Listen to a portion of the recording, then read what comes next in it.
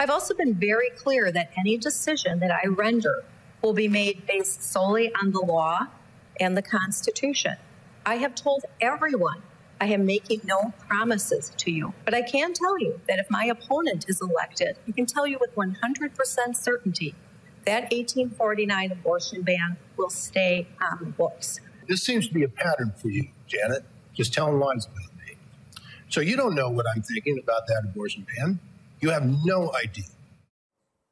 No, we actually do know how Dan Kelly, candidate for Wisconsin Supreme Court, would rule because he told an NBC affiliate in Wisconsin that he would allow the pre Civil War ban on abortion to stand because, quote, it's consistent with the Constitution.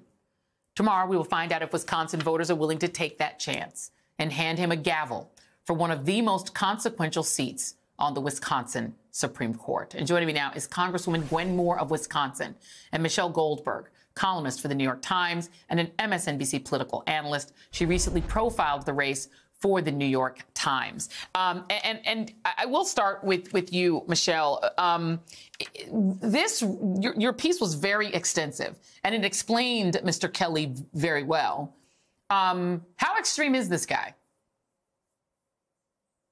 Well, look, he was named in the January 6th um, in one of the depositions. Uh, a Wisconsin Republican Party official said that he had had that he was part of extensive discussions about this fake elector scheme.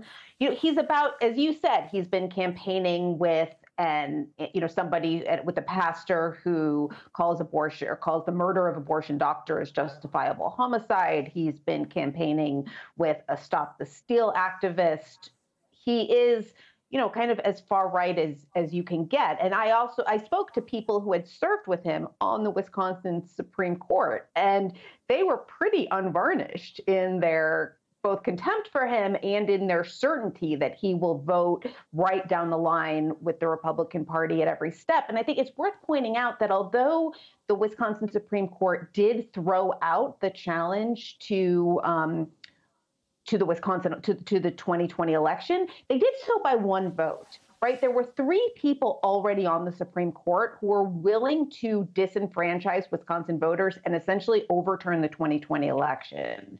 So, you know, kind of democracy is by no means assured in 2024.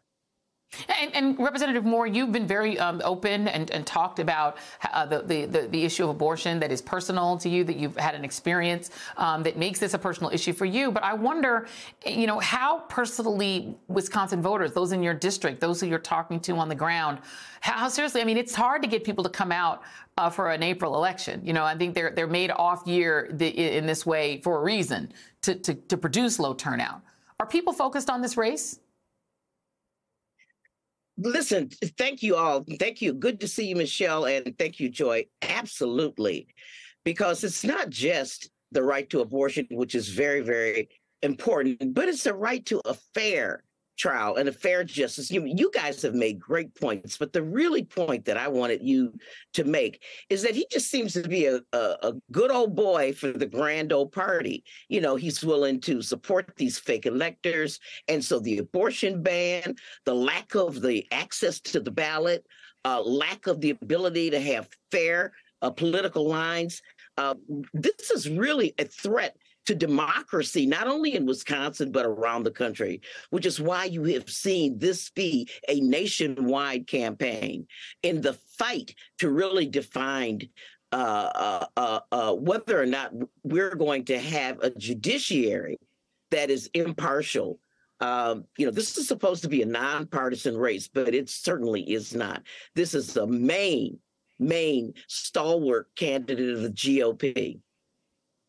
And, you know, Michelle, you know, one of the things I got out of your piece is, I mean, the gerrymandering of Wisconsin from Scott Walker on mm-hmm. has really created minority rule in the state. You know, the state's majority is overwhelmingly yeah. in favor of abortion being legal. They can't have that with the Supreme Court. Um, the gerrymandering means that Republicans have more control than they got votes in terms of the percentages, and they can just have this lock on the state and try to disempower the, the Democratic governor to not allow the governor to exercise the powers people elected him for. I mean, the, talk about how this state and the results could radiate outside of Wisconsin in 2024. Well, yeah, like you said, Wisconsin has been a pioneer in minority rule. Both after Scott Walker was elected, there was a set of extremely gerrymandered maps. Now they've since adopted even more gerrymandered maps by order of the current Supreme Court. And so, what, according to one analysis that I quoted, Democrats would have to win by more than 12 points to take a bare majority of the legislature.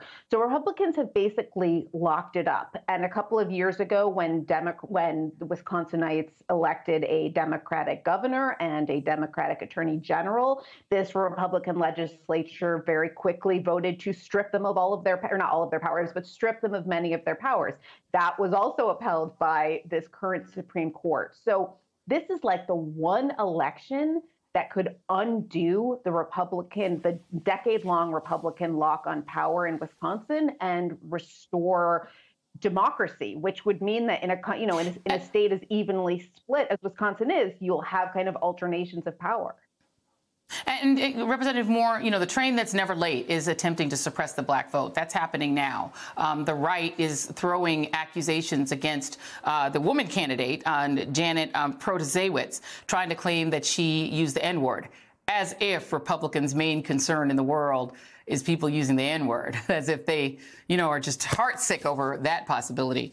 Um, is the African American community focused on the goal here and uh, not standing to fall for that kind of thing?